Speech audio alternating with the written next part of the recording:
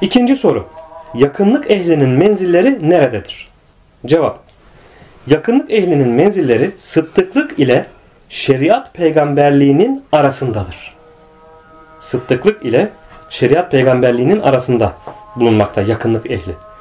Buna göre Allah'a yakın bir veli genel peygamberlikten şeriat getiren bir peygamberin mertebesine ulaşmadığı gibi o peygamberin sözü nedeniyle de peygamberlerin uyanları olan sıddıklardan da değildir.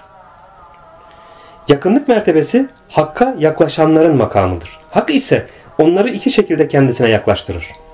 Birincisi çabaları olmaksızın özel yönden yaklaştırmasıdır. Örnek olarak ahir zamandaki kaimi ve benzerlerini verebiliriz. Diğer yön ise Hızır ve benzerlerinde olduğu gibi çaba yolundan yaklaş, çaba yönünden yaklaştırmasıdır. Makam birdir fakat ona ulaşmak zikrettiğimiz şekildedir. Burada peygamber nebiden ayrışır. Hepsini ise bir makam kuşatır. Bu makam hakka yakın kimselerin ve teklerin yani efradın makamıdır. Bu makamda insan yüce topluluğa, meleği alaya katılır ve haktan meydana gelen işlerde bu yakın kimseler adına tahsis, hakkın seçimi gerçekleşir. Makamın kendisi de kespe dahildir. Bazen ise kulun gayreti olmaksızın haktan bir ihtisas yoluyla gerçekleşebilir.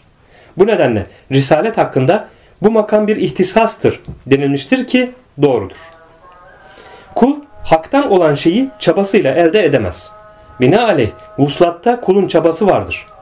Kavuşma esnasında haktan o kimse adına meydana gelen şeyde ise çaba yoktur.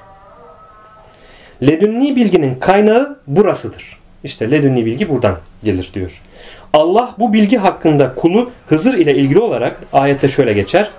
Onu katımızdan öğrettik ve katımızdan ledün yani rahmet verdik demiştir. Öğrettik, ona rahmet verdik ve kendi katımızdan bilgi verdik demektir. Bu ise dört makamdan biridir. Dört makam ilahi yazı bilgisi, cem ve tefrika bilgisi, nur bilgisi ve ledünni bilgidir.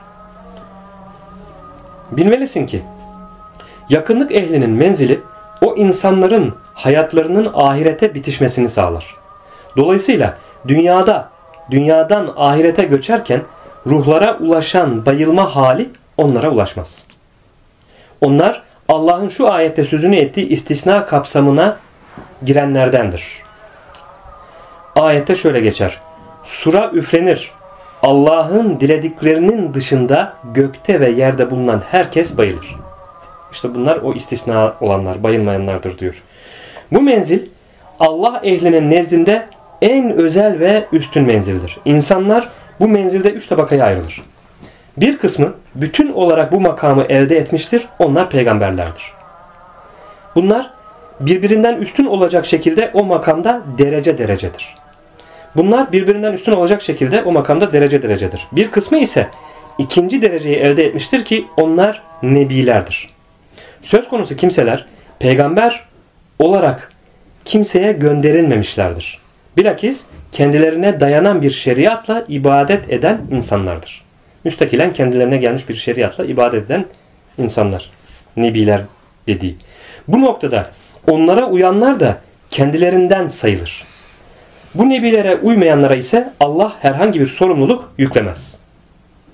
Bunlar bu makamlarda birbirlerine göre derece derecedir. Üçüncü tabaka ise bu ikisinin altındadır. O da vahyini bir meleğin getirmediği mutlak nebilik derecesidir. Bu tabakaların altında peygamberlere uyan sıddıklar bulunur. Sıddıkların altında kendilerine zorunlu olmaksızın nebilere uyan sıddıklar, onların altında ise üçüncü tabakaya uyan sıddıklar vardır. Bunlara yakın olanlar, mükerrebin adı verilir. Yani üçüncü tabaka ehlini kastediyorum. Her tabakanın diğer tabakanın bilmediği kendine özgü bir bilgisi vardır. Bu nedenle Hızır Musa'ya bilgi bakımından kuşatamadığın bir şeye karşı nasıl sabredeceksin dedi. Ayette geçen hubre yani bilgi. Hubre kelimesi zevktir ki o da hal ilmi demektir. Hızır Musa'ya şöyle der. Ben Allah'ın bana öğrettiği ve senin bilmediğin bir bilgiye sahip olduğum gibi sen de Allah'ın sana öğrettiği ve benim bilmediğim bir bilgiye sahipsin.